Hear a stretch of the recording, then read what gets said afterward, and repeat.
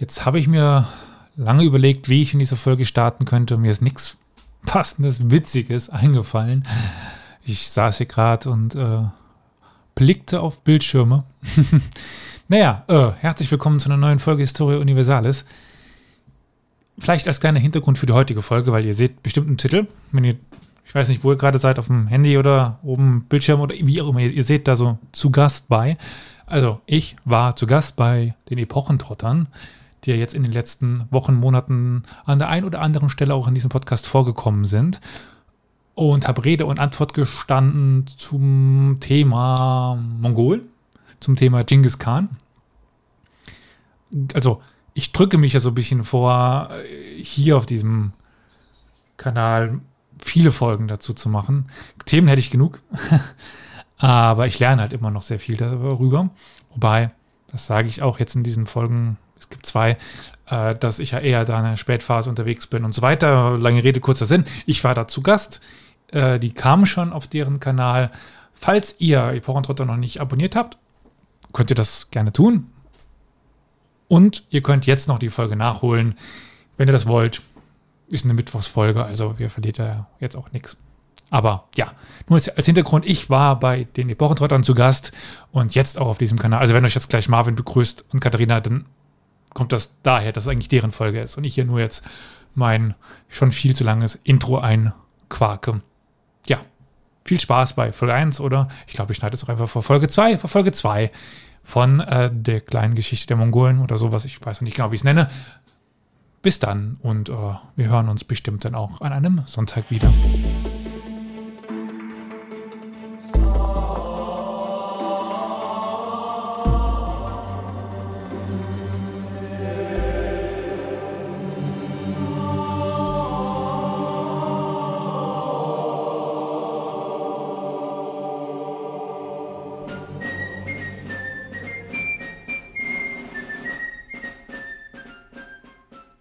Wenn du Temücin Khan wirst, werden wir als Vorhut hinter vielen Feinden hereilen. Für dich werden wir schöne Jungfrauen und Damen von Rang erstreiten, palastartige Zelte, Edeldamen und Jungfrauen mit schönen Wangen von fremden Völkern erbeuten und Wallache mit feinen Kruppen beim Taraben fangen. Wenn wir in einer Schlacht die wilde Meute jagen, werden wir für dich vorausreiten und sie zusammentreiben. Für dich treiben wir die Bestien der Steppe und die Bestien der steilen Ufer in die Enge und pferchen sie zusammen. In den Tagen des Krieges, wenn wir euren Befehl verweigern, nehmt uns all unser Hab und Gut und unsere edlen Ehefrauen und werft unsere schwarzen Köpfe auf den Boden. In den Tagen des Friedens, wenn wir euren Rat missachten, schneidet uns los von unseren Steigbügeln, trennt uns von unserem Besitz und unseren Frauen und werft uns in die Wildnis. Hallo und herzlich willkommen zu einer weiteren Folge von Epochentrotter. Und im vergangenen Jahr waren wir bereits mit Ole und Tore auf den Spuren von Marco Polo in Asien unterwegs. Ein fairerweise Gebiet, was uns häufig nicht so geläufig ist, vor allen Dingen, wenn es dann um außereuropäische oder auch global Geschichte geht, aber das ist ja doch ein sehr spannender Komplex mit den Mongolen, dem Mongolensturm im Mittelalter und wie sich das alles so weiterentwickelt. Und entsprechend haben wir sehr dankbar das Angebot von einem weiteren Podcast-Kollegen angenommen, mit uns weiter durch diese mongolische Geschichte zu trotten, denn wir werden auch hier so ein bisschen durch die Jahrhunderte gehen, also da verschiedenes abdecken. Aber bevor wir da genauer drauf eingehen, darf ich erst einmal den Elias von dem Podcast Historia Universalis begrüßen. Hallo Elias. Hi. Wie äh, Ralf schon mal sagte, wenn es um Mongolen geht, da komme ich immer ganz schnell um die Ecke. Genau, den Ralf von, vom Déjà-vu-Podcast kennt ihr ja auch schon alle. Also ihr seht schon eine kleine eingeschworene Community, die euch regelmäßig mit historischem Audio-Content versorgt. Und falls ihr den Elias aber noch nicht von seinem Podcast kennt, dann hast du jetzt einmal kurz die Gelegenheit, dich vorzustellen. Hey, ja, bin Podcaster seit, oh, lass es fünf Jahre sein. So 2017 rum habe ich, glaube ich, angefangen. Damals noch zu dritt. Mittlerweile sind wir zu fünf bei Historia Universalis. Und das Universalis ist da, denke ich, auch das Konzept. Also wir sprechen über alles, was uns interessiert.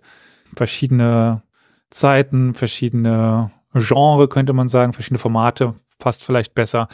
Wobei persönlich, ob dessen, dass ich auch in der Forschung aktiv bin, mein Schwerpunkt auch gerade auf der Geschichte ähm, Zentralasiens, des Mittleren Ostens liegt.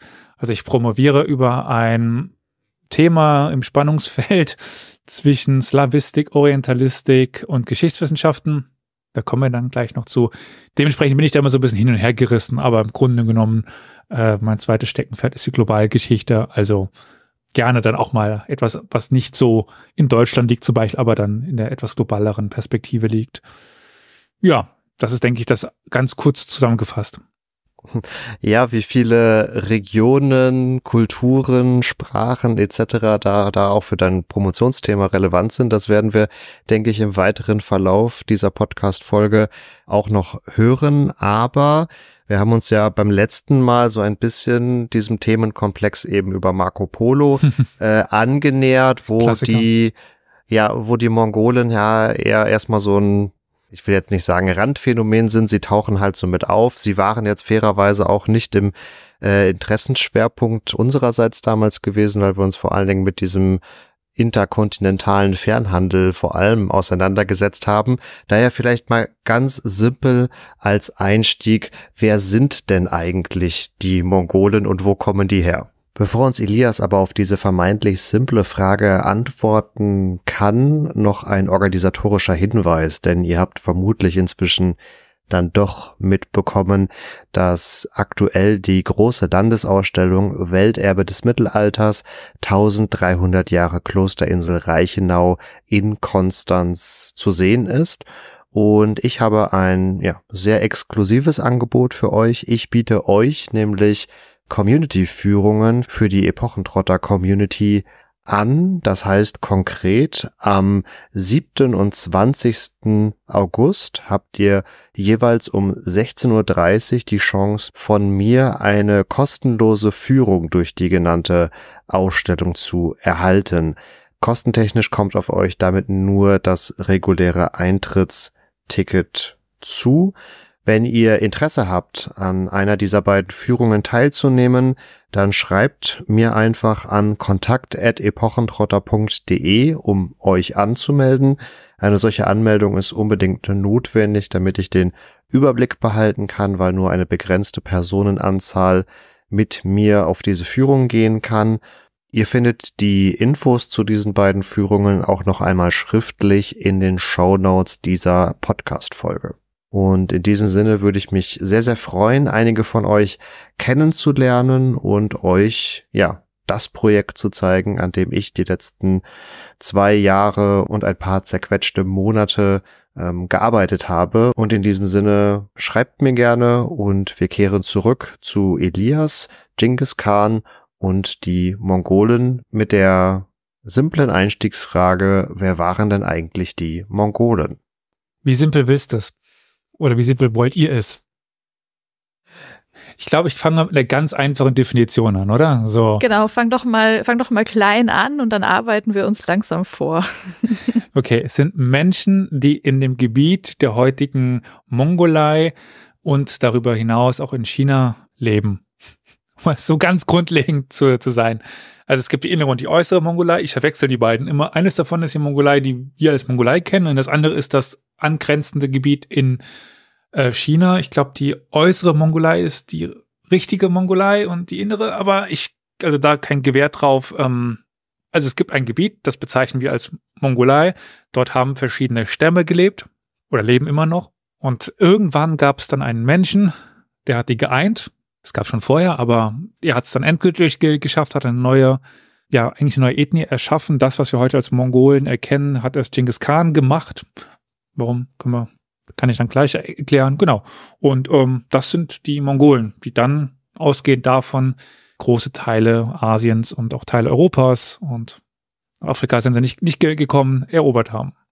Da vielleicht auch noch als ergänzende Frage zur Definition, ähm, ob sich diese Stämme denn überhaupt selbst als Mongolen verstanden haben oder ob das ein Begriff ist, der auch erst mit dem Genghis Khan, den wir auch dann gleich noch ein bisschen genauer vorstellen, aufkam. Ähm, oder vielleicht auch ein viel späterer drauf projizierter Begriff ist. Das mit, also diese Frage, damit müssen wir schon sehr tief in die Materie eintauchen, weil das ist natürlich nicht mit einem Ja oder Nein zu beantworten. Es gibt bei diesen verschiedenen Stämmen gibt es immer wieder Einigungsbewegungen. Zum Beispiel eben einer der Vorfahren von Genghis Khan, der ist Kabul Khan, nicht mit der Stadt zu, zu verwechseln. Ähm, auch der hat es schon geschafft, große Teile der Mongolei zu einen. Und es gibt einen Stamm, oder ja, das ist also die Zugehörigkeiten ist da nicht immer ganz klar so zu durchschauen. Wir haben sowieso ein riesen Quellenproblem. Also wir haben ja keine mongolischen Quellen, wir haben nur chinesische Quellen. Die benutzen ja schon mal andere Wörter. Das ist immer so ein bisschen Umdenken. Aber es gab wohl einen, eine Konföderation, geht noch ein bisschen tiefer. Also das Problem ist ja auch zwischen Stamm, Konföderation, Clan, all das zu unterscheiden, was wir auch, ob dieser Quellenarmut gar nicht immer so können. Aber es gab irgendetwas, was hieß Monchol also Mongole. Das gab es schon vorher. Das war aber nur viel, viel kleiner als das. Das war, wir gehen davon aus wahrscheinlich, dass das ein Stamm war. Dann gibt es noch Clane in diesem Stamm. Aus diesem Stamm der Mongol stammte auch Kabul Khan, stammte später dann Genghis Khan. Wobei der dann wiederum mit den Taichiu zusammenhing, das war dann ein Clan und ja, also es gibt so verschiedene Abstufungen. Aber wenn wir die Mongolen heute sehen, das sind nicht die Mongolen vor Genghis Khan. Das ist nur ein kleiner Teil davon waren Mongolen. Andere waren Naiman, Tatar. Ja, mir fällt es kein weiterer, der, also das sind die drei großen, Naiman, äh, Tatar und äh, Mon Monroe, das sind die drei großen Stämme. Wir haben diesen Quellenbegriff, wir haben den auch schon vor Genghis Khan, aber erst unter Genghis Khan entsteht dann der sogenannte Jacke Mongol Ulus, der große mongolische Ulus, das große mongolische Reich und ob gewisser Gesellschaftsumstrukturierungsmaßnahmen äh, mal mehr, mal weniger friedlich, sind diese Stämme in der Zeit Genghis Khans auseinandergerissen worden. Der hat neue Stammeszugehörigkeiten erschaffen und dadurch kommt es dann zu einer neuen ethnischen Zusammensetzung und dann entstehen die Mongolen, die wir heute als Mongolen kennen. Der wohl bekannteste Name von mongolischen Stammesfürsten ist ja jetzt schon mehrfach gefallen und ich würde auch mal vorschlagen, Genghis Khan so ein bisschen als Ausgangspunkt zu nehmen, um uns ein bisschen zu verorten. Also wir sind offensichtlich in Asien. Du hast auch gerade schon das Reich ein bisschen abgesteckt, mit dem wir es hier zu tun haben. Wir wissen inzwischen auch, dass die Mongolen also ein Stamm oder ein Stammeszusammenschluss sind oder daraus zumindest entstanden sind. Ja, wann haben wir denn eigentlich dann den Aufstieg von Genghis Khan zeitlich und wer war das eigentlich genau? also Genghis Khan hieß schon mal nicht Genghis Khan. Der hieß Temujin. Das war sein eigentlicher Name. Also Genghis Khan war ein Titel im Grunde genommen. Also der eiserne König könnte man so übersetzen. Also Genghis eisern und Khan ist König. Es gibt dann theoretisch einen Kaisertitel mit Khan, also der Khan, Khan der Khane, das ist dann eher mit einem ähm, Kaiser vielleicht gleichzusetzen, wobei er dann einen Titel auch hatte dann. Zeitlich fangen wir vielleicht da an. Es ist nicht ganz klar, wann er geboren worden ist. Wahrscheinlich so um 1160 rum. Also es gibt so verschiedene Jahre, die genannt werden. 55, 62, 67. Ja, irgendwo dazwischen ist er geboren. Er war der Sohn eines, ja, Kleinadligen könnte man vielleicht auf europäische Verhältnisse so übertragen, äh, sagen aber hatte eben schon in der Abstammung, wie gesagt, er stammte von Kabul Khan ab, der schon mal geschafft hatte, sowas wie die Mongolei zu einen, aber momentan war seine Familie nicht besonders mächtig. Es kommt dann auch dazu, dass er mit seinem Vater auf Brautschau geht. Also in der, also bei den Mongolen ist es so, dass die Kinder sehr früh verheiratet werden. Also er war, müsste es ungefähr raten, so zehn oder sowas, glaube ich. Und ähm, er findet dann auch seine Frau, die auf den Wundernamen, wunderschönen Namen Börte hörte aus unserer deutschen Perspektive klingt dieser Name etwas verstörend als, naja, egal. Äh, und auf dem Rückweg äh, wird sein Vater von den Tatar ermordet oder vergiftet und stirbt an der Vergiftung und dann ist er alleine. Er ist ja noch zu, zu jung, um tatsächlich zu, zu heiraten. Es war nur eine Ehe, die eben vorher sein sollte, also vorher festgelegt worden ist. Und mit seiner Mutter und ein paar Angehörige seiner Familie und Entourage und so weiter werden dann von dem, von ihrem Stamm, den Taitshiut, werden sie verstoßen und ja, die Familie lebt an so ein kleines, ja, wie, wie könnte man das denn schön beschreiben? Also ein bisschen von, von Raub, ein bisschen von, ähm, ja, der täglichen Arbeit, also das ist eine Nomaden, also ein bisschen Fisch fangen und so sowas, also so ein Wegelagerer. Das war das Wort, was ich gerade suchte, so ein kleines Wegelagerer da sein. Und er sammelt so peu à peu so eine kleine weitere Entourage um, um sich. Er wird jetzt langsam erwachsen, er ist jetzt 17, 18, 19 und ja, er weiß natürlich schon, wer sein Vater war und dass er eben dem Adel angehört eigentlich. Und er schafft es so, seine Macht immer weiter aufzubauen geht dann auch in Kontakt mit anderen Stämmen. Wir haben eben dort einen anderen Khan, mit dem er dann so zu tun hat, der früher der äh, Anda, der Blutsbruder seines Vaters war. Und mit dem schafft es immer weiter aufzusteigen. Er hat auch selber einen Blutsbruder, der noch äh, wichtig werden sollte. Und so peu à peu gewinnt er die Kontrolle über seinen alten Stamm wieder, äh, gewinnt Anhänger, wird immer mächtiger, wird mächtiger dann gerät er irgendwann in den Konflikt. Ich versuche jetzt das alles so ein bisschen zusammenzufassen. Mit Jamucha heißt er, das ist sein, sein Blutsbruder. Das wird dann so die 20er Jahre oder seine 20er Jahre be beschreiben, dass er eben in den Konflikten steht in der Mongolei gegen andere Stämme, gegen die Tataren zum Beispiel. Wir können ja noch mal auf den Begriff Tataren-Mongolen eingehen. Das ist ganz interessant. Also die Tataren, die ja seinen Vater ermordet haben, gegen die hat er dann ähm, immer wieder Auseinandersetzungen. Jetzt, das wird auch der erste Stamm sein, den er komplett auslöscht.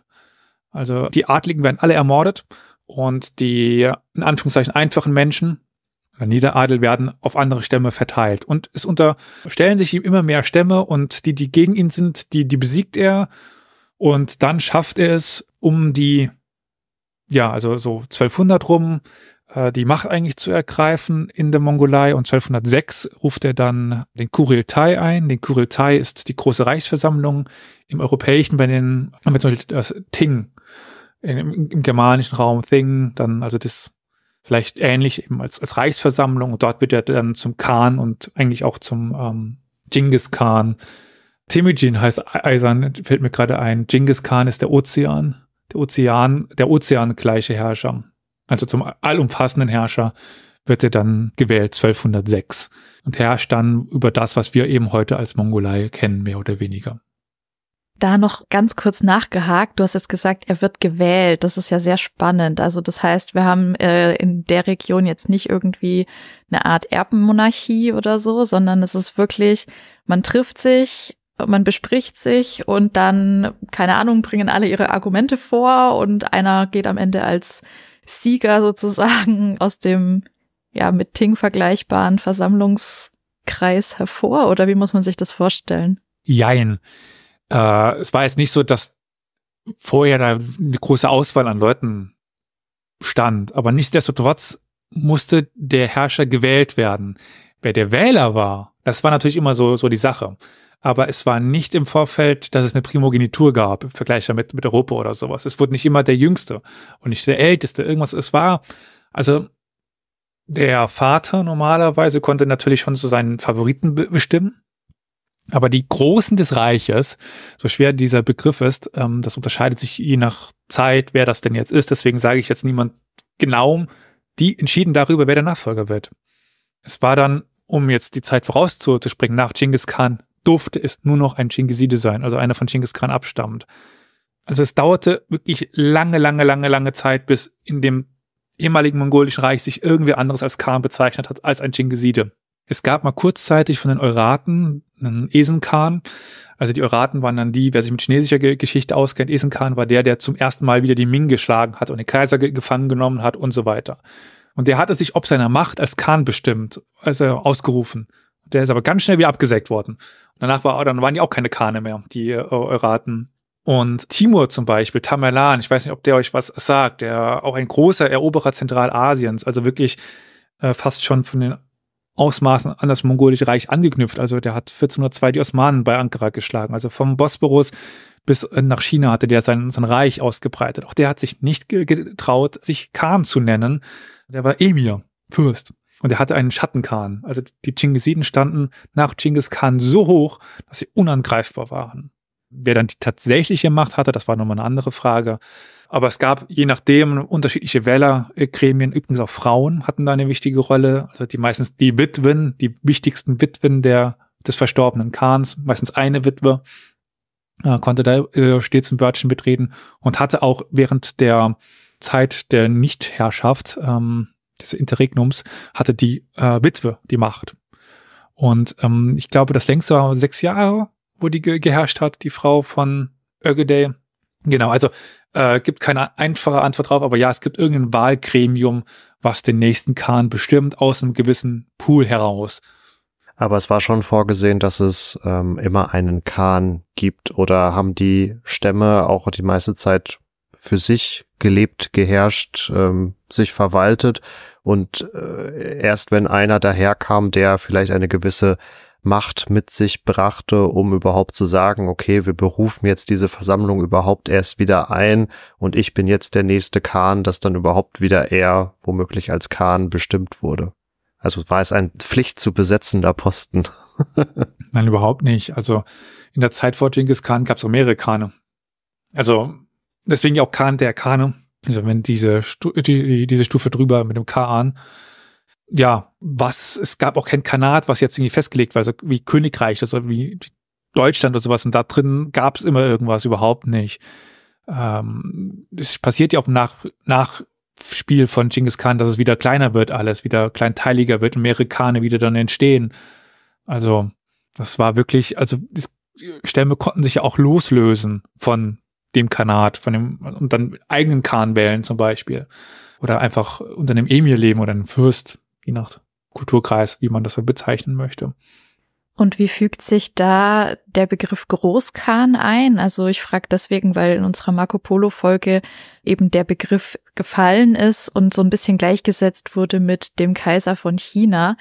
ähm, müssen wir das vielleicht revidieren jetzt aufgrund deiner Expertise oder ähm, ist das so, na ja, okay? Wie passend, dass wir gerade eine Reihe über die Yuan haben bei, bei uns, über Kublai. Naja, also Kublai hat sich selber schon als Großkhan angesehen. So war es jetzt nicht. Nur ja, das Problem war, er war damit mit der Einzige, der das so gesehen hat. Äh, damit greifen wir jetzt aber schon eigentlich ein bisschen der Geschichte voraus. Also es ist an sich nicht falsch, aber es ist immer so die Frage, sich selbst bezeichnen und anerkannt werden. Also es gibt einen Großkhan normalerweise, weil es entstehen ja noch weitere Khane nach Genghis Khan. Und dieser Großkhan, der ist theoretisch der Weisungsbefugte für die anderen Kane unter ihm. Und Kubilai, um den geht es ja bei, bei Marco Polo, hat sich als solcher gesehen. Ihm hat aber nur einer von den, und also einer hat ihm gefolgt und zwei nicht. Können wir ihn dann als solchen bezeichnen? Schwierig, ja. Ja und nein. Ja, du hast es schon anklingen lassen, dass wir in der Ereignischronologie vielleicht erst bei Genghis Khan erst noch weitermachen. Wir haben auch schon gehört, wir entfernen uns doch sehr weit von dieser eurozentrischen Sicht, weil einfach vieles einfach nicht in einem Sichtbereich der mittelalterlichen Europäer stattfindet. Aber und da kommt dann die eurozentrische Sicht äh, doch wieder ein bisschen rein. Diese Mongolen oder vor allen Dingen ja auch Genghis Khan, nachdem er sich äh, da in seiner Macht ähm, gefestigt hat und ja auch einen gewissen Einflussbereich aufgebaut hat, dringt dann immer weiter gen Westen vor. Mal ganz blöd gefragt, warum macht er das? Warum machen die Mongolen das? Geht es einzig und allein darum, Macht und Herrschaft auszubauen oder gibt es noch treibende Kräfte wie ja, andere Player, die die Mongolen vielleicht gen Westen drücken? Gibt es klimatische Veränderungen oder was auch immer? Ich versuche mich an alle Punkte zu erinnern. Also vielleicht klimatisch, ja, der, die Ausbreitung des mongolischen Reichs geht so ein bisschen einher äh, mit einer Feuchtphase in der Steppe. Also wir sprechen über den eurasischen Steppengürtel. Es gibt dann Überlegungen, Feuchtphase, ähm, die Pferde gut gefüttert, ähm, mehr militärische Power, man braucht da nicht so viel sich um Essen zu, zu kümmern, um das mal in aller Kürze abzufrühstücken. Dann, warum breiten sie sich gen Westen äh, aus, aber auch übrigens gen Osten, also in beide Himmelsrichtungen. Relativ bekannt ist ja dann auch zum Beispiel das Ausgreifen nach Japan später mit, mit Tsushima oder dann später den, ähm, den göttlichen Winden, wo zweimal die, die Flotte versenkt wird. Ja, das ist eine, also es sind ganz unterschiedliche Gründe. Erstmal vielleicht vorweg, Genghis Khan war das im Endeffekt gar nicht. Das waren ja dann auch hauptsächlich seine Söhne. Wir verbinden das ja immer so mit Genghis Khan. Genghis Khan hat die halbe Welt erobert. Na, Genghis Khan kam gerade so bis ins moderne Usbekistan vielleicht mit Eroberungen. Also Kriegszüge bis nach Persien. aber Eroberungen bis ins moderne äh, Usbekistan, würde ich sagen. Dann ist er gestorben, 1227 in China, weil er auch noch in China erobert hatte, was auch erst seine Söhne machen sollten. Auf ihn folgen dann zwei Söhne und ein Enkel. Das ist Ögedegüg und Mönke. Das sind die, also mit ihm, die vier anerkannten Großkane. Mit dem fünften, das ist dann Kublai, äh, ab da wird es dann eben so, dass nicht mehr alle anerkennen. Das Reich wird vier geteilt nach ihm, wobei es immer einen Großkhan, also noch drei weitere Großkane gibt. Das sind dann die vier ältesten Söhne von, von ihm. Das ist, das, diese Namen, das tut mir jetzt schon nur leid. Wir können so ein 1, 2, 3 und 4 nennen, aber der erste ist Judgy. Der zweite, ich versuche die richtige Reihenfolge hinzubekommen. Ich glaube, der zweite ist Chagatai, genau, das ist der zweitälteste. Ähm, der drittälteste dürfte Ögedei und der viertälteste oder der jüngste äh, Tolui sein. Also es sind Trechi, Chagatai, Ögedei und Tolui. Das sind die vier wichtigsten Söhne. Und die bekommen jeweils eine eigene Apanage, einen eigenen Ulus, um diesen Be äh, Begriff zu verwenden, zugesprochen. Wir kennen das heute als, also Chechi als goldene Horde, ähm, Chagatai ist der Chagatai-Kanat, Tolui und Ögedei ist ein bisschen schwieriger, weil die, jetzt versuche ich mich nochmal, ich verwechsel die gerne mal, ähm, die Ögedeiden werden ausgelöscht im Laufe der Geschichte von den Tuluiden und die Tuluiden haben dann irgendwann zwei eigene Kanate, äh, nämlich eins in Persien und eins in China. Genau, so. Äh, und nach, nachdem wir das so ein bisschen mal eingeordnet haben, Goldene Horde übrigens Südrussland, Chagatai Zentralasien und der Rest äh, zu dem Zeitpunkt noch Mongolei und China, weil da Persien noch nicht erobert war. Die Gründe für das Ausgreifen sind ganz unterschiedlich. Also natürlich die Mongolei einen, das war machtpolitisch. Die Stämme der, der, dieser Mongolen, dieselbe Sprache, das war schon mal geeint, das war das Recht des Vorfahren von, von Genghis Khan, das hatte sich irgendwie angeboten. Danach die Unterwerfung Nordchinas. Chinas war damals, China war damals nicht geeint.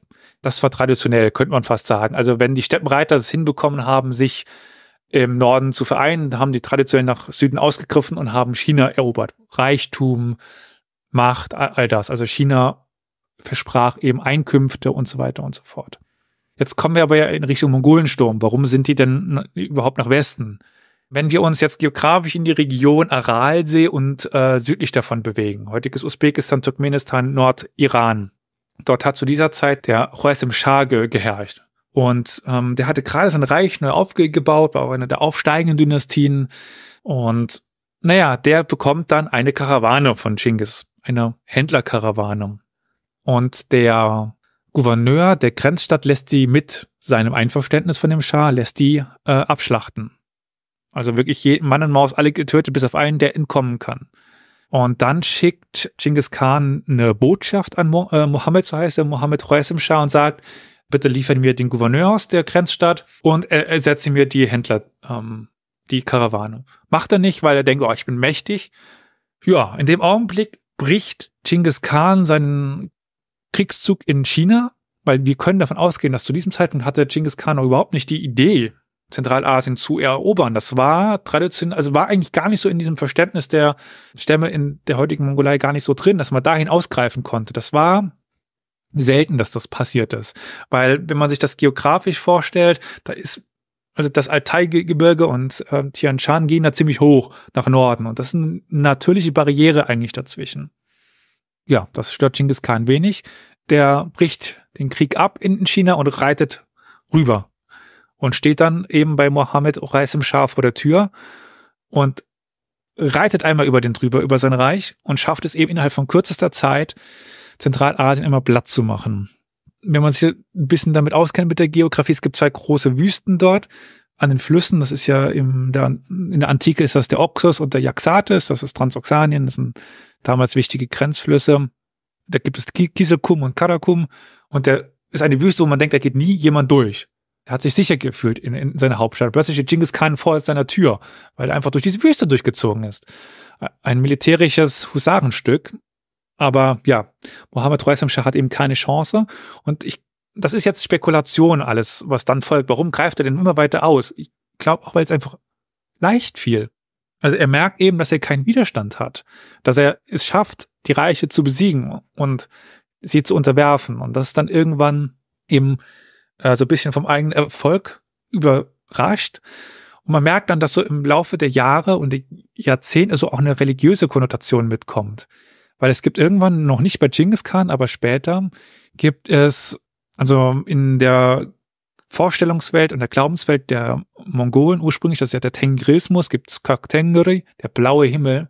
Und dann hat Köktengri den Mongolen den Auftrag gegeben, die Welt zu beherrschen. Und spätestens dann kommt eben so diese Konnotation dazu. Die Welt gehört uns und wir haben sie zu unterwerfen. Es ist auch das klassische Vorgehen in der mongolischen Ausbreitung. Man kommt vor eine Stadt, man schickt denen das Unterwerfungsangebot.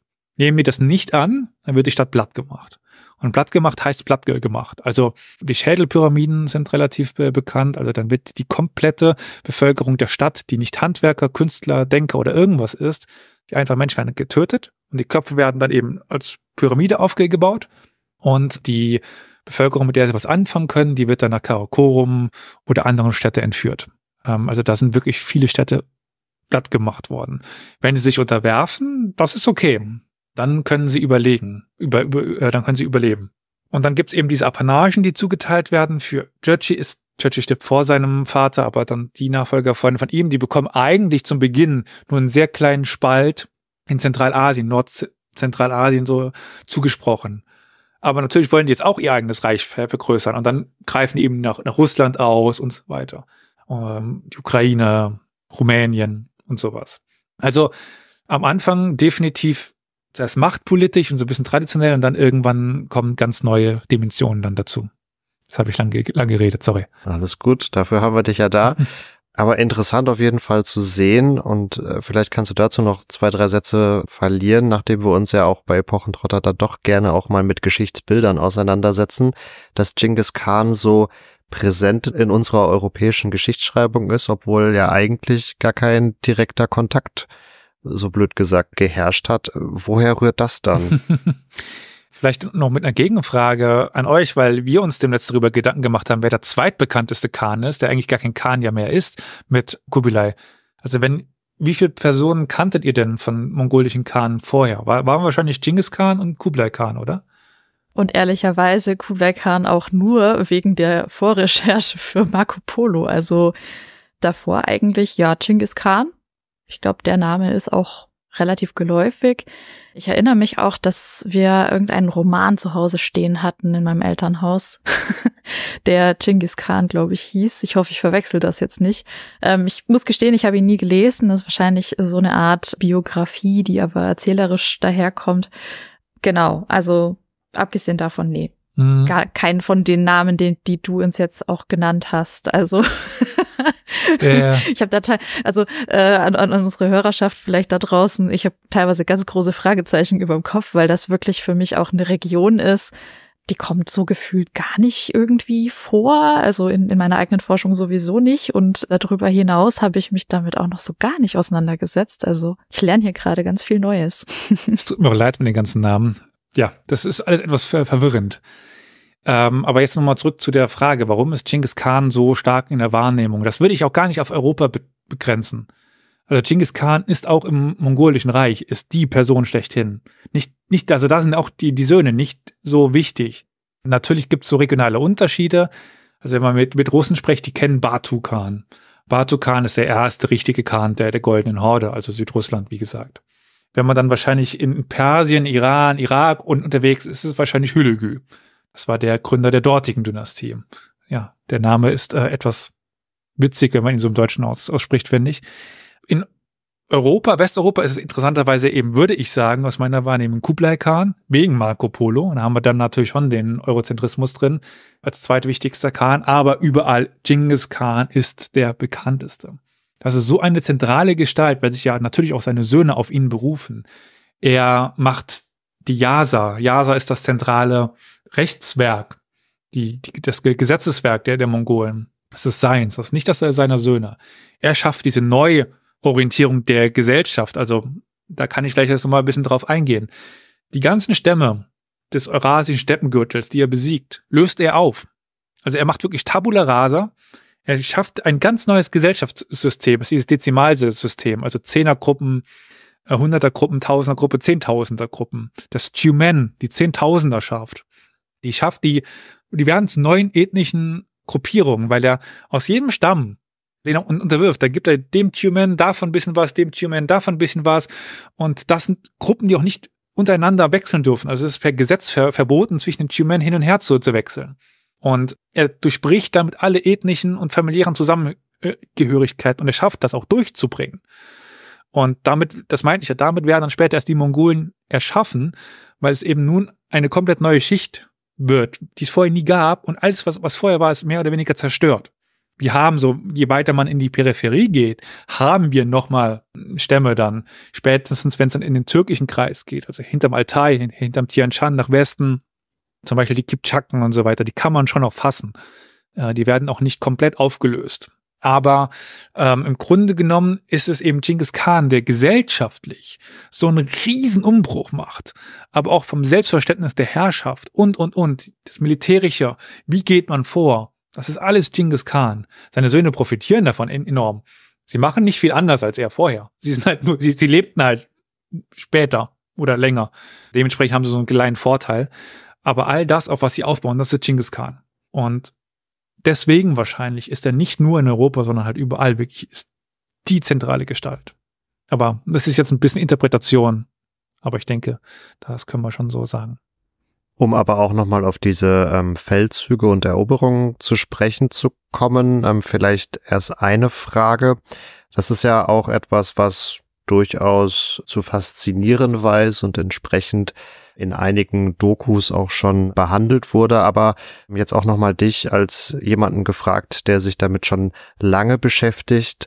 Wo siehst du diesen militärischen Eroberungserfolg? Also was zeichnet den aus? Wie kommt der zustande? Ist es einfach nur wirklich diese Mobilität durchs Pferd, was ihnen ja immer ja einerseits vermutlich auf den Marschzügen selbst äh, unterstellt wird, ähm, aber dann auch in der Schlacht selbst, dass sie vom Pferd aus schießen oder was, was kommt da noch alles dazu? Mhm. Also ich muss gestehen, mein eigentlicher Schwerpunkt liegt ein bisschen später, aber ich kann natürlich mal versuchen ähm, zu sagen, was ich denke. Es ist eine Vielzahl von Elementen, die da reinspielt. Es ist nicht nur, dass da lauter Pferde kommen mit Bogenschützen drauf. Das, das führt, es ist nicht weit genug gedacht. Eine der wichtigen Sachen von Genghis Khan und später ist, dass sie offen gegenüber Neuem sind. Sie lernen überall, wo sie ankommen. Sie nehmen überall das Beste, das verstehen sie militärisch. Was kann mir diese Region geben? Was bringt sie mir in anderen Regionen? Diese, also die können ja niemals eigentlich, das Problem von Steppennomaden ist ja oft die Belagerung von, Städt, von Steppennomaden, die Belagerung von Städten. Wenn wir an die Hunnen zurückdenken, an die Ungarn und all das, die müssen sich erst einmal akklimatisieren, um Städte zu belagern. Das machen die Mongolen sofort. Mit einer Kunst, wie es kaum jemand geschafft hat. Warum schaffen sie das? Naja, weil sie sich die Chinesen zum Beispiel am Anfang einkaufen. Chinesische Belagerungsingenieure. Wir haben zum Beispiel mit Guo Khan, das ist kein Khan, sondern das ist lustigerweise derselbe Name, nur ein bisschen anders geschrieben. Mit Guo Khan haben wir eine Biografie in China von einem chinesischen Militäringenieur, der bis nach Bagdad reist und Bagdad belagert. Also bei der Belagerung von Bagdad äh, setzen die zum Beispiel chinesische Militäringenieure ein. Es gibt die Berichte von Kanonen, die sie eingesetzt haben. Also nicht irgendwelchen, sondern richtige Kanonen im 13. Jahrhundert. Es ist weit, bevor sie in Europa überhaupt eingesetzt werden, weil sie das aus China mitbringen. In China wiederum ähm, hatte man noch nicht äh, die Gegengewichtkatapulte erfunden. Also wenn wir uns so klassisch Königreich der Himmel, wenn die mit ihren Trebuchets schießen, die haben ja vorne dieses Gegengewicht dran. Das kannten die in China nicht. Und das bringen die wiederum mit muslimischen Belagerungsingenieuren nach China und können dort plötzlich Mauern durchschlagen, die vorher als undurchschlagbar galten, weil sie plötzlich mehr Bums auf ihren Katapulten haben. Also diese, diese Fähigkeit zu lernen und sich an anderen Dingen zu bereichern, positiv und negativ, äh, ist da ganz, ganz wichtig. Aber als zweites würde ich wirklich die, also Steppennomaden waren oder Steppenreiter waren immer schon militärisch super stark um es mal so banal auszudrücken. Damit haben sich Heere immer schon echt schwer getan. Kreuzzüge, man sieht, wie die sich mit den Seldschuken, wie schwer die sich tun. Im Grunde genommen haben die Kreuzzüge überhaupt nur eine Chance, weil die Ayubiden so zerstritten untereinander sind und die Seldschuken auch Probleme hatten. Also hätte es einen geeinten arabisch-islamischen, türkischen, wie immer Staat gegeben, hätten die Kreuzfahrer keine Chance ge gehabt. Aber das Problem ist eben genau das. Diese Uneinigkeit. Das ist das Problem der Stämme in der Mongolei, das ist das Problem der Stämme in der westlichen Euras äh, Eurasischen Steppe. Die sind ganz, ganz selten politisch geeint. Aber Genghis Khan schafft es ja, die zu einen. Damit auch ein Gewaltenpotenzial dazu, äh, aufzubauen. Also wie viele Soldaten hat er denn jetzt? Und bekämpfen die sich die ganze Zeit gegenseitig oder schaffen sie es, diese Streitigkeiten nach außen zu richten? Und das schafft Genghis Khan. Also er schafft es eben, die Stämme zu einen und sie gemeinsam in die Schlacht zu, zu führen. Und die haben dann Heere, da träumt Europa von, von der Anzahl her. Also wie viel kämpfen im, im 100-jährigen Krieg pro, pro Seite? 10.000, wenn es hochkommt? Ja, das, das ist eine Vorhut bei den Mongolen teilweise. Also Tumen, wie gesagt, das sind 10, 10.000er schafft. Ich glaube, der Kriegszug nach Persien, der Schüllegü hatte äh, 30 bis 40 Tumen oder sowas, wenn ich mich richtig entsinne. Also wenn man dann Frauen, Kinder und so weiter mit recht sind da Millionen Menschen runtergezogen. Das ist, das ist eine unglaubliche Streitmacht für die Verhältnisse von Europa. Und dagegen sich zu, zu wehren, das ist nicht möglich. Was mir gerade noch in den Sinn kam, also gerade wenn das auch so viele Menschen sind, die da bewegt wurden, das bedeutet ja auch immer einen gewissen Verwaltungsaufwand.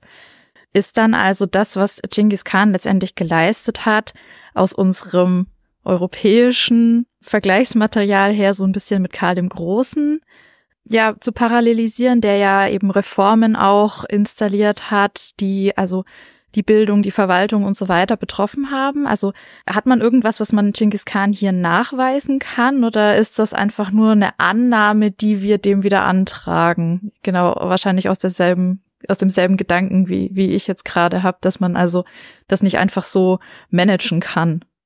Also die, den, den Vergleich mit Karl dem Großen finde ich eigentlich ganz, ganz passend, weil ja auch die Karolinger dann lange Zeit Bezugsrahmen waren und ja, sie eigentlich eher ja Gründungsvater Frankreich, Deutschland und so weiter ist.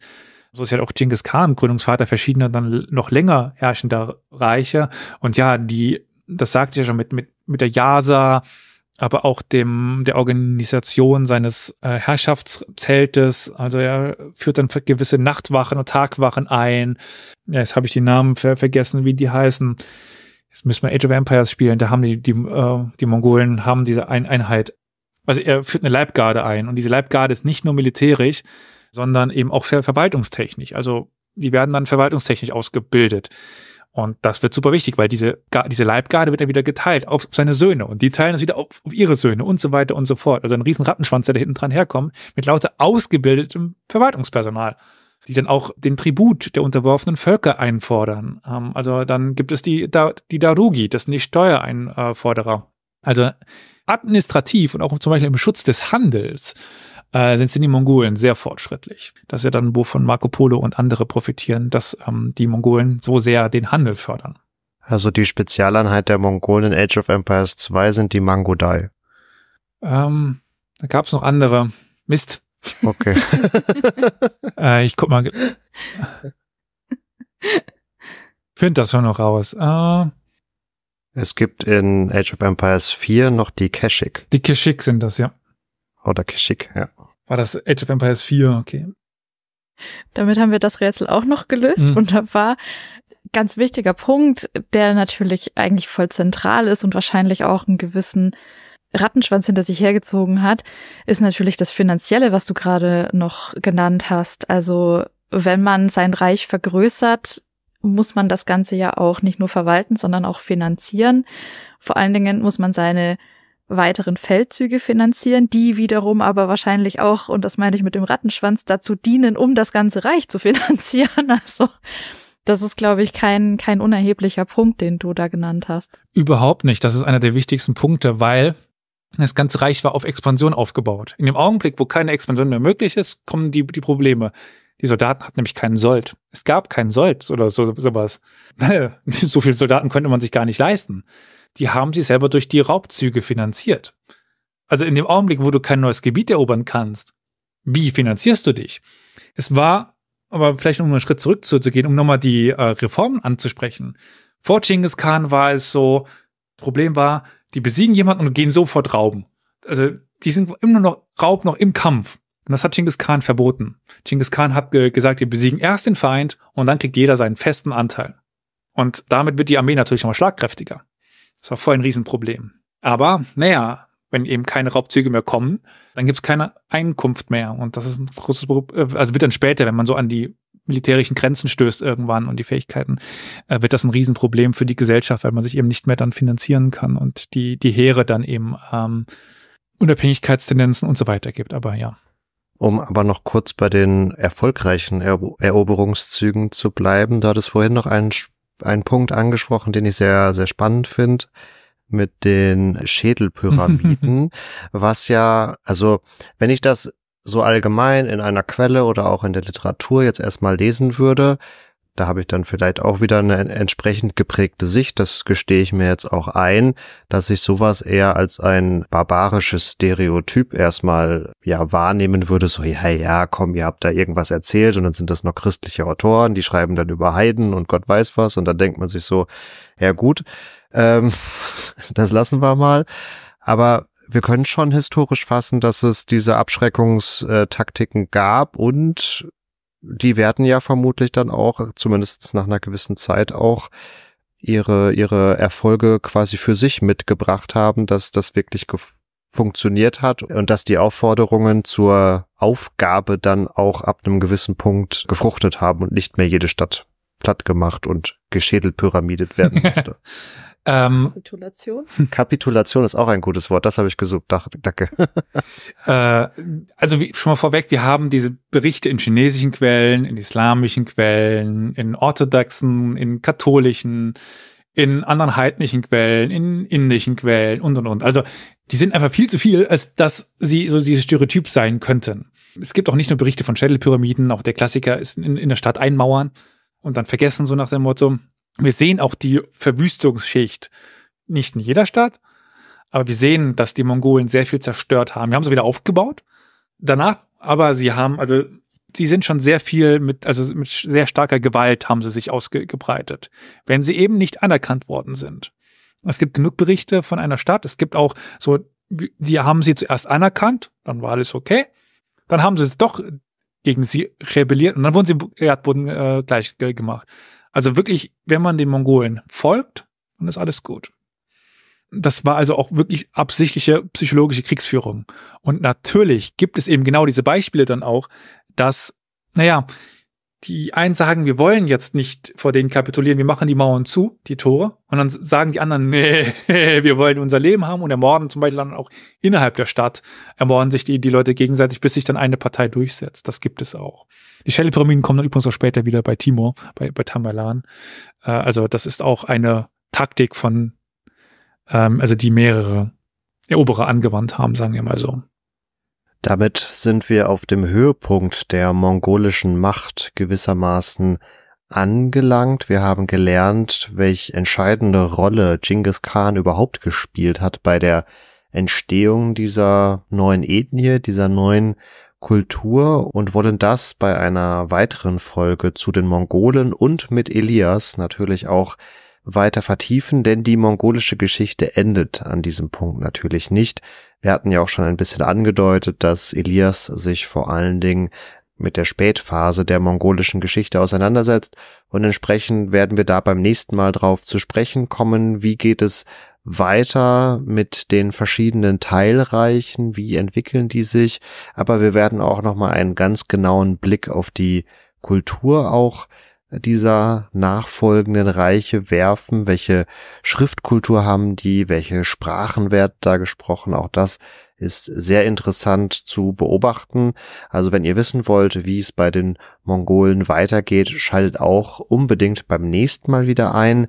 Und ich darf an dieser Stelle mich schon mal ganz, ganz herzlich bei Elias bedanken. Seinen Podcast Historia Universalis verlinken wir euch natürlich auch unten in den Show Notes.